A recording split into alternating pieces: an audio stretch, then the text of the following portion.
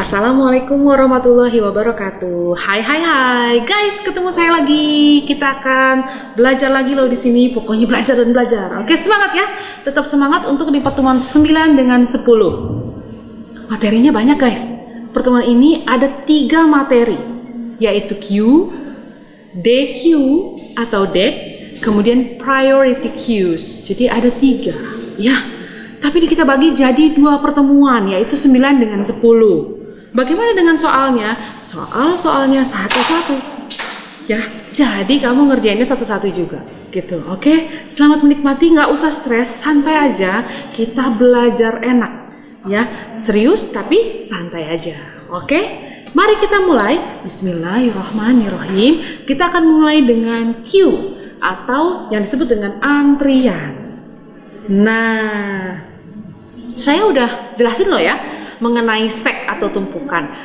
Itu lanjut ke sekarang Q antrian. Jadi yang numpuk-numpuk sudah sekarang uh, acaranya untuk ngantri gitu ya. Jadi kenapa ini ada di dalam struktur data, uh, alasannya apa dan apa saja istilah-istilah yang ada di dalam Q. Oke, mari kita mulai. Tapi jangan lupa, saya adalah Ibu Giandari Maulani Mkom, Magister Komputer. Biasanya mahasiswa memanggil saya Bulan. Ya, dan ini adalah komputer kesayangan saya, komputer keberuntungan saya, namanya adalah Lucky ya, yang akan membantu di dalam proses kita untuk menjelaskan mengenai Q dan juga di dalam slide yang bisa kamu lihat. Oke, Bulan dan Lucky akan mulai dengan Q. Check it out. Oke, kita akan uh, mulai Q adalah sebuah linear list dari elemen-elemen data yang penghapusannya dilakukan di bagian depan. Hapus depan. Ya, depan apa? Antrian. Apa istilahnya? Front atau head. Bagian depan antrian disebut front atau head atau kepala bagian depan, gitu ya. Dan penambahan elemen data dilakukan di bagian belakang antrian Mau nambah ke belakang. Mau ngantri ke belakang. Bisa nggak ngantri langsung ke depan? No, no, no. Ya, tidak bisa dong. Orang marah. Kamu datang tiba-tiba harus ke belakang. Nggak bisa ke depan langsung. Antrian. Disebut apa? Kalau ada antrian yang belakang, disebutnya rear. Tulisannya rear. Rear atau tail. Buntut. Belakang. Gitu ya. Nah, itu adalah definisi dari Q. Nah, Q adalah order list dengan penyisipan di satu ujung, penghapusannya di ujung lain. Sisip di ujung yang satu, kalau menghapus ujung yang lain, ya. Nah, untuk order list kita sebut ini adalah elemen yang dapat diakses, disisipkan atau dihapus di sembarang posisinya. Ya, jadi kita akan minta bantuan laki untuk kasih contoh nih penggunaan Q itu apa aja sih? Laki-laki apa aja biasanya untuk lalu lintas udara, antri kita ya ada pesawat mau berangkat, antri sesuai dengan jadwal. Kemudian kita mau ngantri apa ya karcis bioskop, lagi ada film bagus, kamu mesti ngantri gitu ya. Mulai jam berapa jam berapa, kamu harus liatin jadwalnya di studio mana kamu nonton gitu ya, ngantri. Apalagi yang biasanya kita ngantri? Ngantri dapat sembako, ya kan? Ngantri bayar kuliah ya. Terus apa lagi? Ngantri hmm, hmm, ngantri apa yang biasanya ya? Kita kalau belanja di supermarket untuk membayar belanjaan juga ngantri gitu ya. Jadi dalam kehidupan kita sehari-hari kita pasti pernah melakukan yang namanya ngantri. Ingat yang ngantri ya bagian orang duluan gitu ya dia yang depan. Orang yang belakangan di belakang gitu ya ngantri. Metodenya berarti apa nih untuk queue atau antrian That's right, FIFO. First in, first out. Ya, jadi yang pertama kali masuk, yang pertama kali juga dilayani, atau yang pertama kali keluar. First in, first out.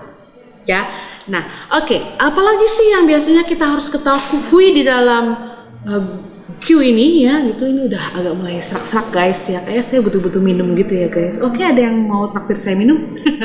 Oke kita mulai ya masih dengan belajar. First in first out. Jadi siapa yang duluan antri dia yang pertama kali dilayani. Tetapi di dalam struktur data ini untuk yang Q bukan kita mau dengan cara antri seperti biasa gitu ya. Uh, kita pakai antriannya metodenya agak beda nih, tapi tetap namanya adalah ngantri ya. Nah, meskipun prinsip kerjanya sama, namun pada Q tidak dikenal istilah maju selangkah kayak kita ngantri ya. Kalau yang satu udah dilayani nih, yang satu kan maju nih ya dalam kehidupan kita sehari-hari kan. Nah, di dalam Q ini enggak Ya, jadi di sini biasanya kita akan apa ya seakan-akan tuh pelayan yang menghampiri uh, kita. Jadi uh, tetap pengantrinya tetap ya pelayannya yang menuju mereka. Jadi seolah-olah seperti itu. Tapi marilah ya kita lihat karakteristik penting di dalam antrian itu apa aja, yaitu uh, elemen antrian yaitu item-item data yang terdapat di elemen antrian. Ya item-item apa sih bulan? Item-item maksudnya guys ya. Kemudian kita akan mengenal berikutnya mengenai front kemudian kita akan kenal dengan tail kemudian juga ada beberapa kondisi antrian yang menjadi perhatian yaitu jika kondisinya penuh bagaimana mengantrinya dan jika kondisinya kosong bagaimana cara mengantrinya ya mari kita lihat ya oke bagaimana jika penuh bila elemen pada antrian mencapai kapasitas maksimum antrian. Itu dikatakan penuh. Nah, pada kondisi ini tidak dimungkinkan untuk kita melakukan penambahan antrian. Jadi penambahan elemen yang menyebabkan kondisi kesalahan. Jadi udah penuh nih. Maksa masuk ngantri, nggak bisa.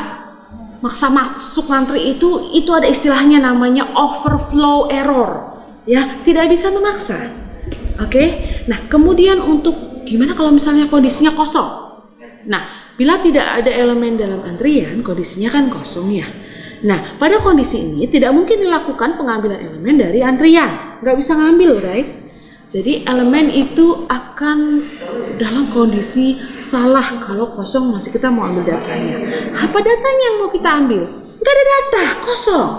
Disebut dengan underflow error. Error Kepenuhan error, kosong error. Beda istilah. Kondisi penuh adalah overflow error.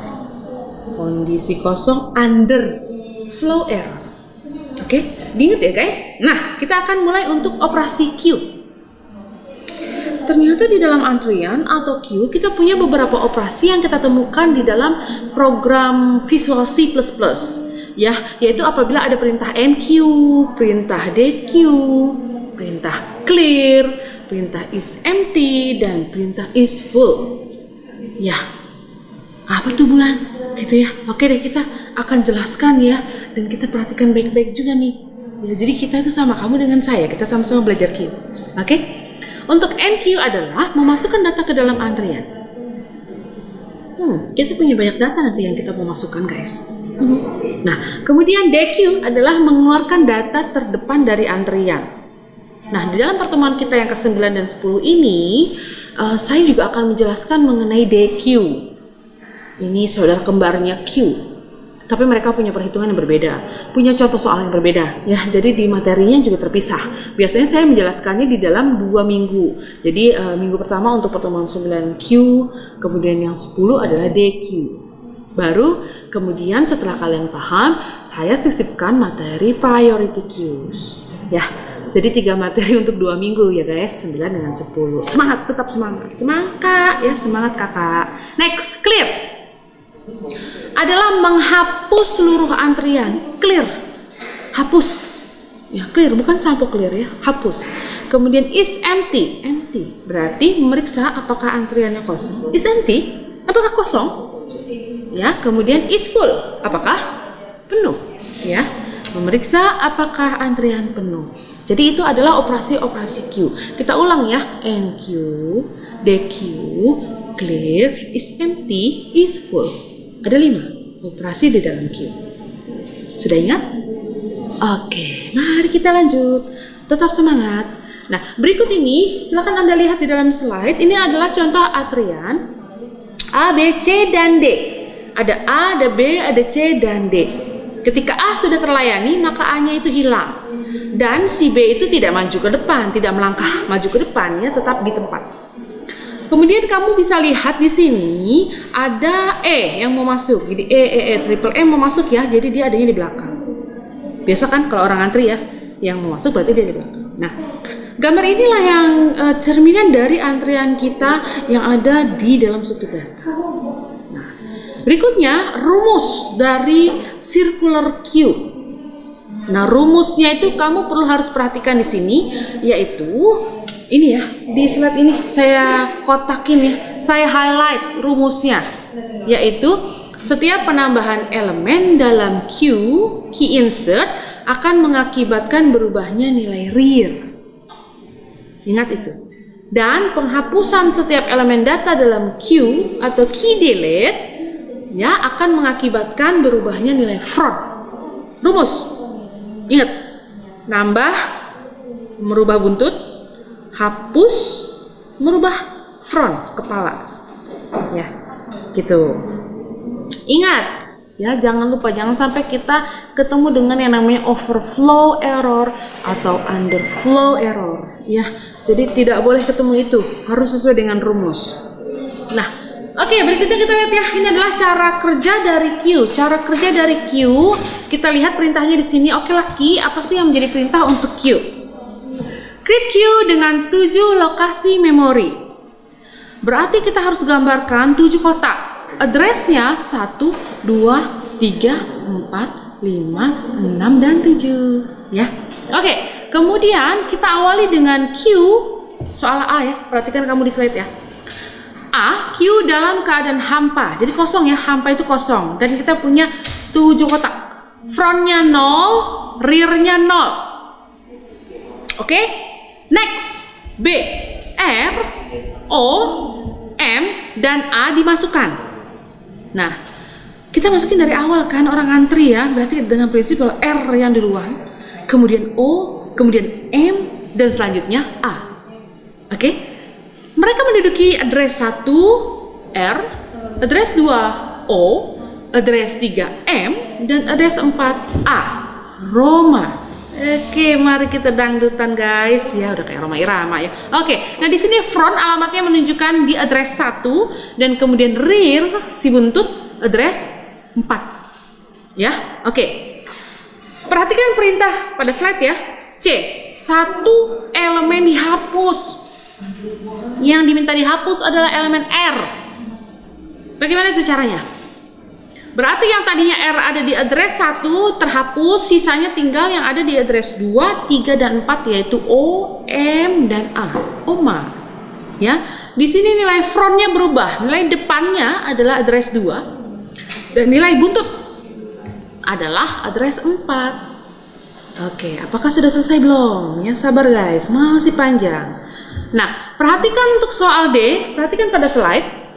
Ketika W, A, H, dan Y dimasukkan. Ya, ini tetap ya, kotaknya ada 7 ya, addressnya ada 7. Dan tetap ada OMA di situ.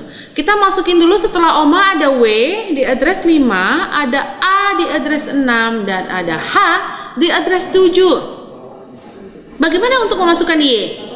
Nah, karena nggak muat, maka kita pakai metode sirkular. Memutar guys, ya.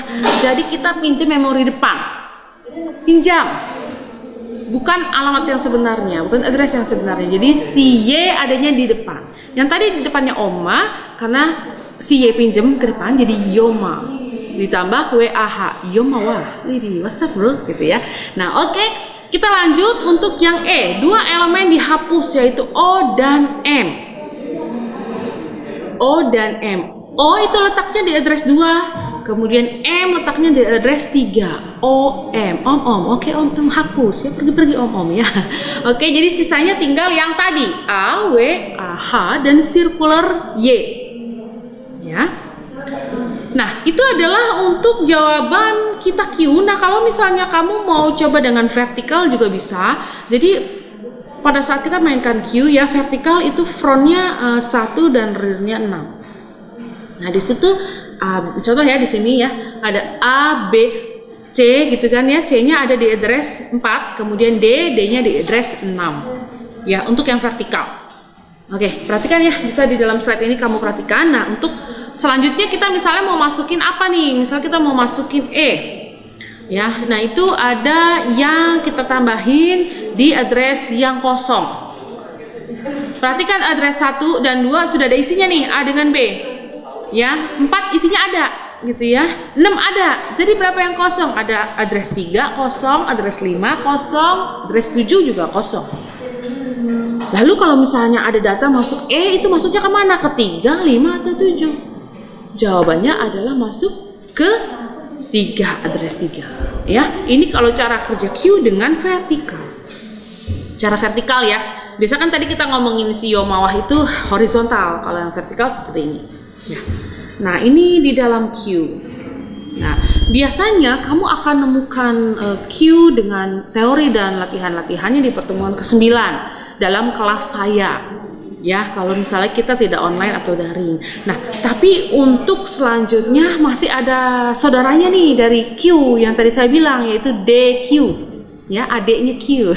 Jadi si DQ itu istilahnya adalah deck. Jadi saya biasanya ngomongnya deck. Untuk membedakan uh, Q dan DQ ya, sama-sama Q belakangnya. Jadi si deck. Deck akan kamu temukan di pertemuan ke-10 ya. Oke, okay?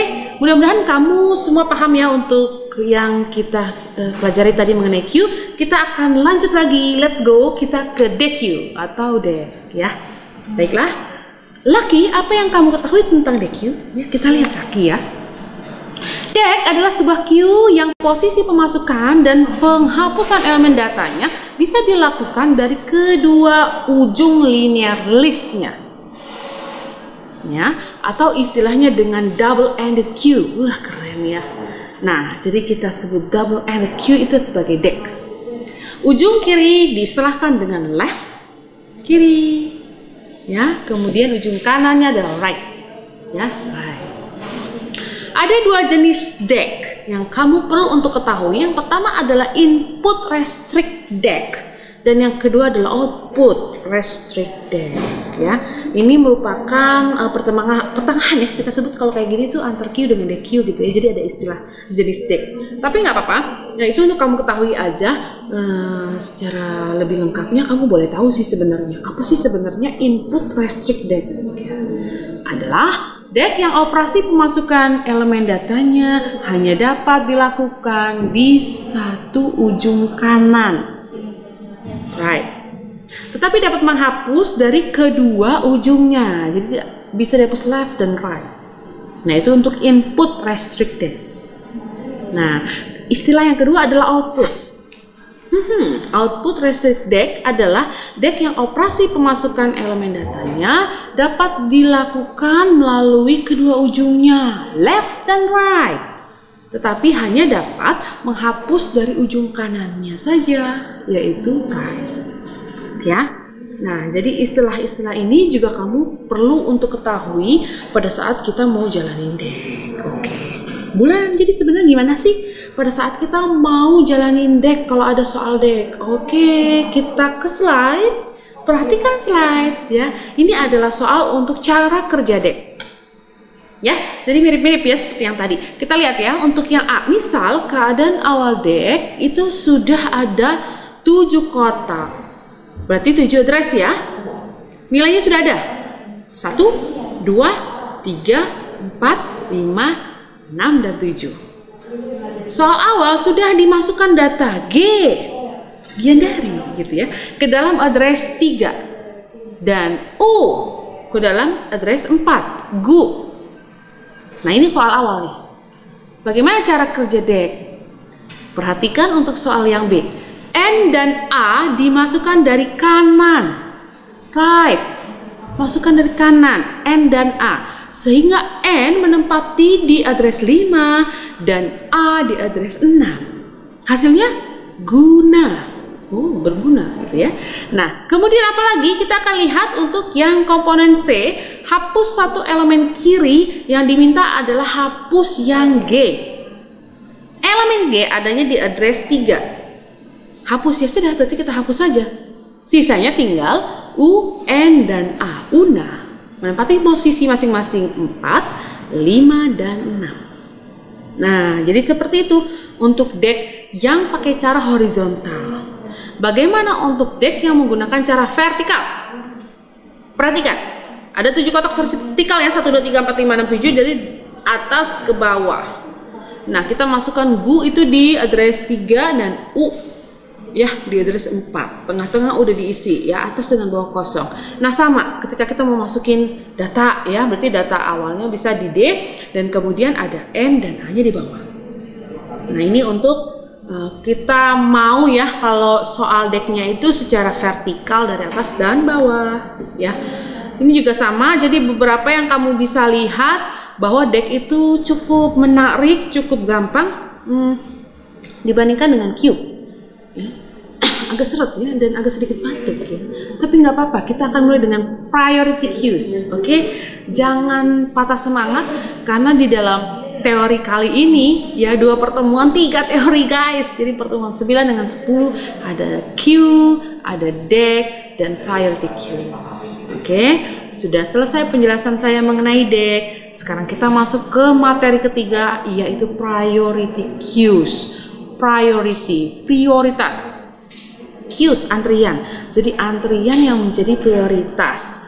Kenapa uh, priority queues ini sebagai tambahan ya di dalam materi ini? Kenapa dia sebagai tambahan? Karena kita mau analogikannya di dalam kehidupan kita sehari-hari. Ya, kayak kamu mau pakai printer. Oke, kita lihat ya. Begini. Bila kita bekerja dengan menggunakan jaringan komputer yang terdiri dari 10 terminal. Oke, 10 terminal ya guys Nah, tetapi hanya ada satu printer yang terhubung dalam jaringan tersebut, sedangkan semua penggunakan melakukan pencetakan ke printer. 10 orang, kita anggap ya, 10 orang pakai komputer, printernya satu. Sama-sama mau ngeprint. Nah, bagaimana printer bisa mengatur itu semua? Siapa yang duluan? Print. Yang duluan adalah yang mencet print. Makanya duluan. Tetapi 10 orang tadi mencet printnya bersamaan ya kan?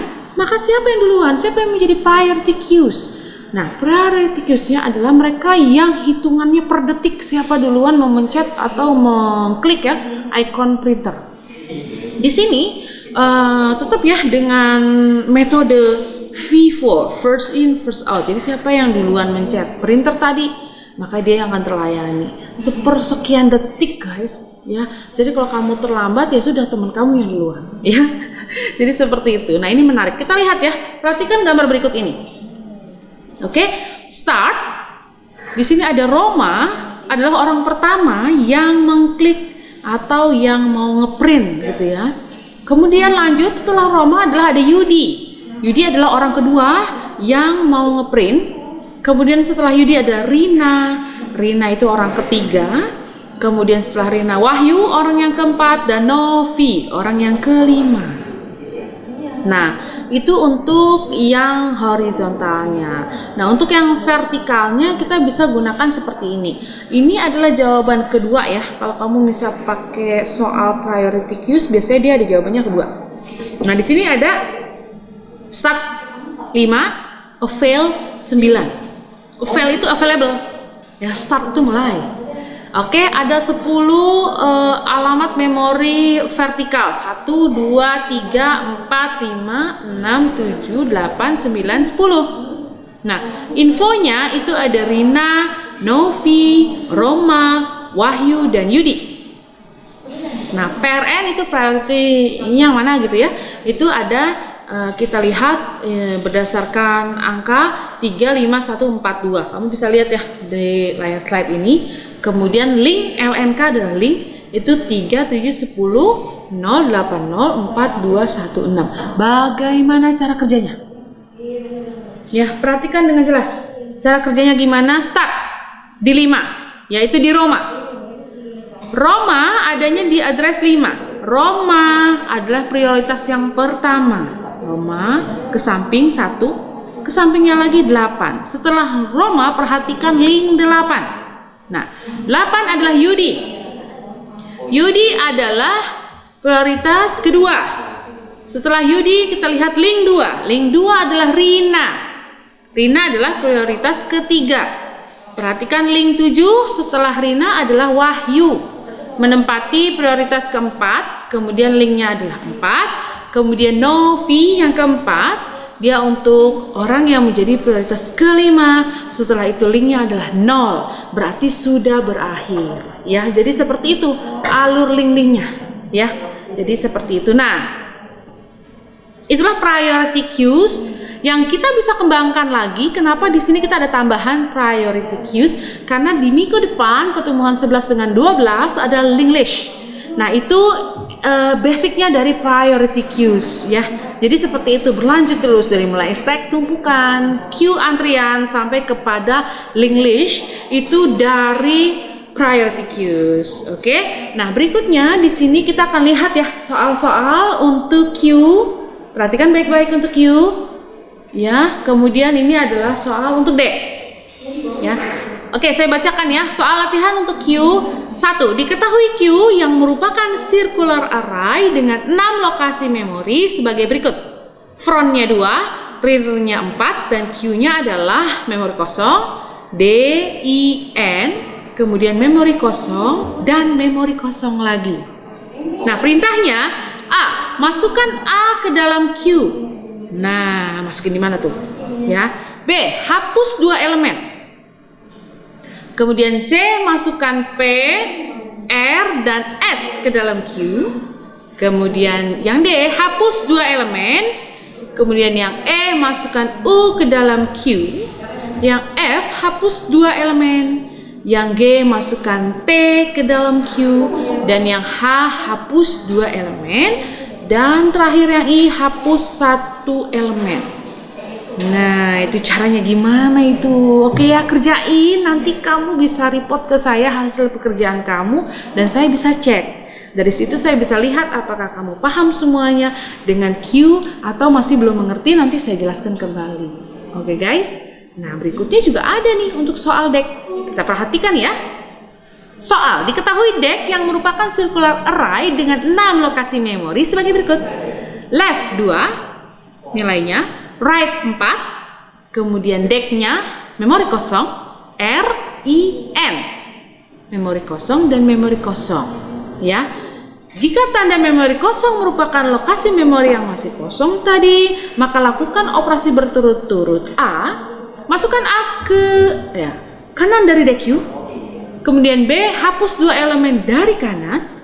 C, masukkan N, O, dan V dari kanan DQ. D hapus satu elemen dari kiri dan E masukkan I dari kiri DQ dan F masukkan S dari kiri DQ dan G hapus tiga elemen dari kanan. Nah, itu soal untuk D. Ya, jadi bagaimana dengan soal priority queues? Priority queues bersambung dengan link list kita akan ketemu di pertemuan berikutnya, yaitu pertemuan 11 dengan 12 ya. Dia punya sendiri soalnya. Sekarang kalian konsentrasi saja untuk mengerjakan soal deck ya dan soal kakaknya itu Q ya. Nah, apakah sudah bisa jelas, bisa menjawab? Oke, perhatikan kalau kamu belum bisa menjawab, saya akan kasih tahu nih ya jawabannya. Tapi kemudian kita akan latihan terus ya, supaya kamu lancar dan bisa. Oke, perhatikan ini adalah jawaban untuk soal Q. Ya, awalnya din ya. Oke. Masih lanjut ya, masih banyak. Kemudian untuk soal D, nah ini adalah jawabannya. Awalnya rin. Ya, berlanjut terus ke bawah. Nah, ini seperti ini. Kita cocokkan jawaban kamu dengan jawaban saya. Oke? Ya, kita bersenang-senang aja dengan mata kuliah ini karena struktur data itu adalah mata kuliah yang sangat menarik.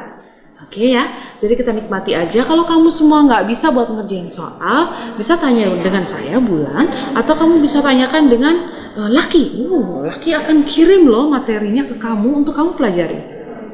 Oke, terima kasih banyak ya untuk menikmati di pertemuan kita yang 9 dengan 10 ini. Ketemu lagi di pertemuan 11 dengan 12 mengenai link list. Oke, Nah, terima kasih banyak sudah menyaksikan video kali ini ya. Kita harus dengan senang hati untuk belajar struktur data. Oke, bila itu wal hidayah. Wassalamualaikum warahmatullahi wabarakatuh.